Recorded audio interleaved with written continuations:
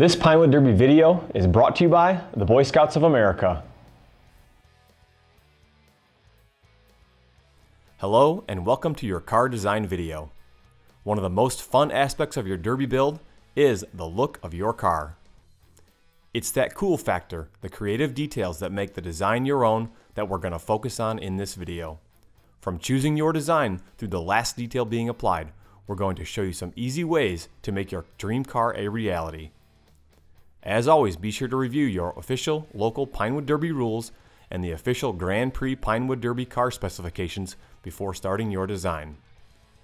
An adult should be present to assist when needed and perform certain tasks for safety reasons, but it's important for the Cub Scout to participate and even more importantly, lead when possible in every aspect of the build process. And car design is the perfect place to start.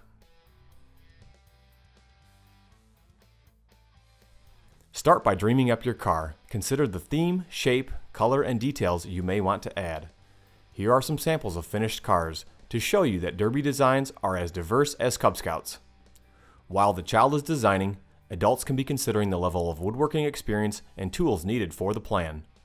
Check out the other how-to videos on this site to help with the next stages of your build. Pencil and paper are all you need to get started. Let your Cub Scout start by sketching his ideas. Encourage and ask questions as he draws. Remind him of theme aspects and personal touches that will make the design his own.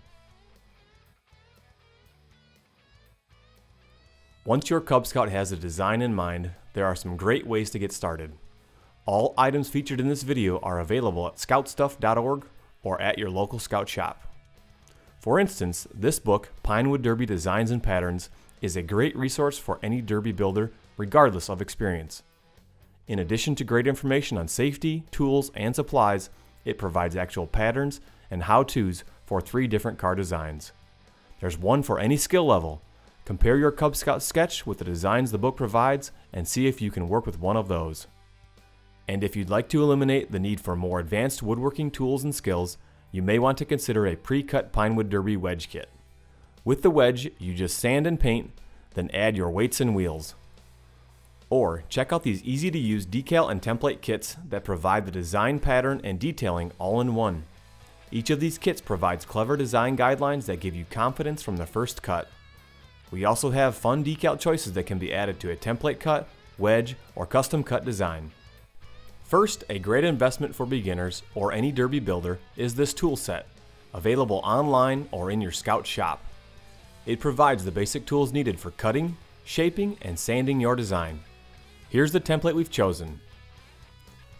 Start cutting out the template pieces, staying exactly on the pattern lines.